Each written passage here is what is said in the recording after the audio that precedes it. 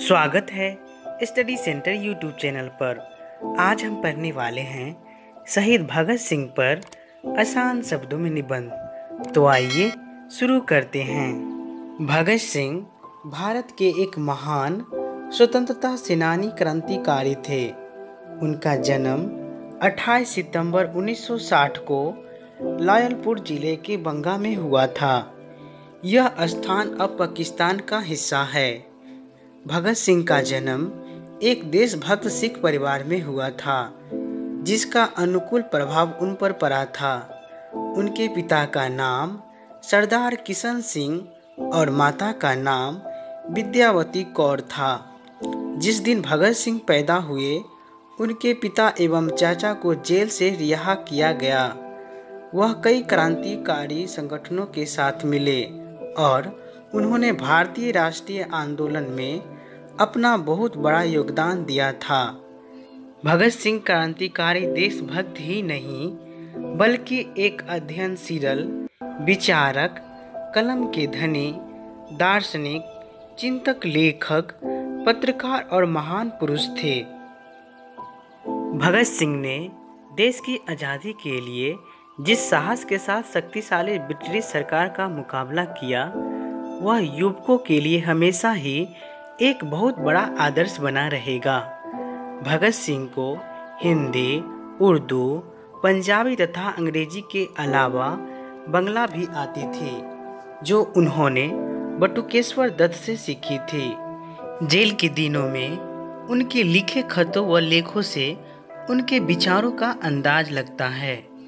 उन्होंने भारतीय समाज में भाषा जाति और धर्म के कारण आई दूरियों पर दुख व्यक्त किया था।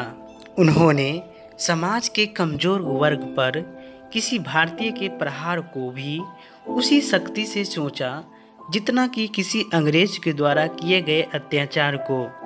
उनका विश्वास था कि उनकी शहादत से भारतीय जनता और उग्र हो जाएगी। लेकिन जब तक वह ज़िंदा रहेंगे, ऐसा नहीं हो पाएगा। भगत सिंह ने भारत की आज़ादी के लिए नौजवान भारत सभा की स्थापना की। भगत सिंह ने भारत की आज़ादी के लिए इनकलाब जिंदाबाद का नारा दिया। वह वामपंथी विचारधारा से प्रभावित क्रांतिकारी थे। उनके दल के प्रमुख क्रांतिकारियों में चंद्रशेखर आज़ाद, सुखदेव, राजगुरु इत्यादि थे। भगत सिंह ने 17 दिसंबर 1928 को लाहौर में अंग्रेज़ अधिकारी जेपी साडर्स को मारा। भगत सिंह तथा उनके दो साथियों, सुखदेव व राजगुरु को 23 मार्च 1931 को शाम में करीब सात बजकर तैंतीस मिनट पर फांसी दे दी गई।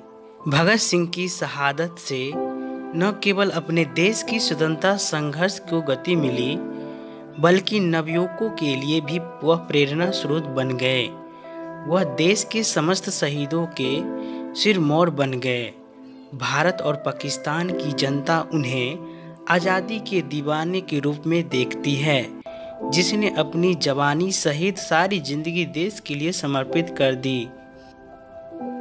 उनके जीवन पर आधारित कई हिंदी फ़िल्में भी बनी हैं, जिनमें the legend of Bhagat Singh, शहीद शहीद भगत सिंह आदि आज भी सारा देश उनके बलिदान को बड़ी गंभीरता व सम्मान से याद करता है। ये थे शहीद भगत सिंह जी पर आसान शब्दों में निबंध। मिलते हैं अगले वीडियो में। तब तक के लिए टेक केयर बाय बाय